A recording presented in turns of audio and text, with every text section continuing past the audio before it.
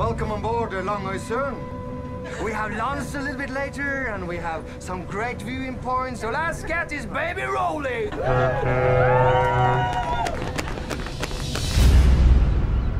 Why do people live in this place?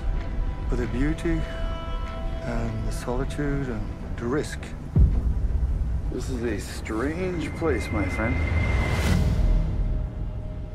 It's the nature set the rules. And if you don't play by those rules, you're dead.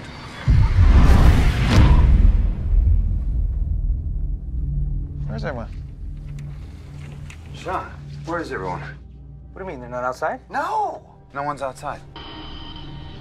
On Mayday, we have. We're. Listen, we're drifting. We have no power. That's a town. I'll get the raft. This place isn't right. There's no one here. What in God's name is going on? A supernatural event occurred here, Ray. And you expect me to believe this dystopian Oh, bullshit? man, I don't have any answers. I don't want to be here.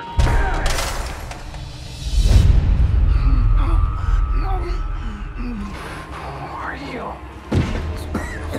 Alan, you're not making sense. Just relax. And now he's trying, trying to kill me with the headphones. I heard something. Hello?